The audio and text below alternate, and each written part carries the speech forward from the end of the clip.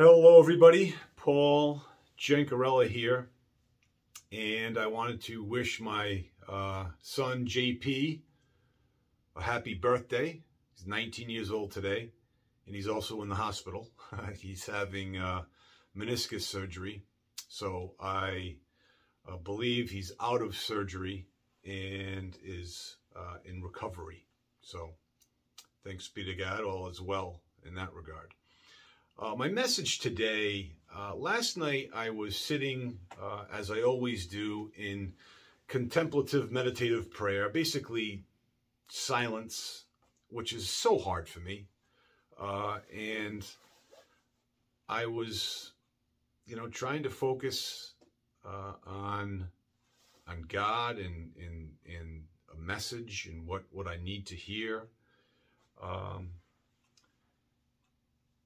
and after a couple minutes, I received a message, as I always do. I do receive a message every time. Um, I, I, try to be that locked in. And God had said to me, um, the more you focus on me, the better your results will be. And I just wrote it down and basically packed up, went to bed, and read read a book or whatever. Didn't really think much about it, and then I reflected on it again today because I I left the notebook open. And it's is it not true? The the more we focus on what we need to focus on, the better our results will be. You know, whether that is spiritual, whether it is uh, work related, um, say you're having some tough times with a coworker.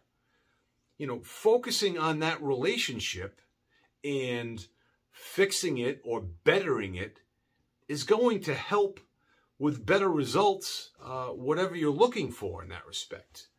You can have uh, issues with your spouse. Uh, you focus, you know, your your mindset on what needs to be fixed, uh, generally it, it will get fixed.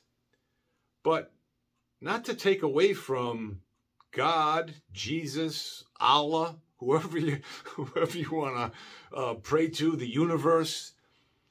If if you you know pray to the universe, there's seven universal laws that no matter what you do, they'll come true.